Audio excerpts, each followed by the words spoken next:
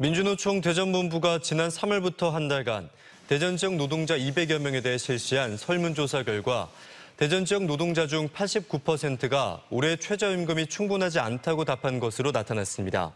특히 전체 응답자 10명 중 7명은 지난해보다 생활비가 증가했다고 답했으며 3명 중 2명은 내년도 최저임금 적정 수준이 월 230만 원, 시급으로 약 11,000원 이상이 돼야 한다고 말했습니다.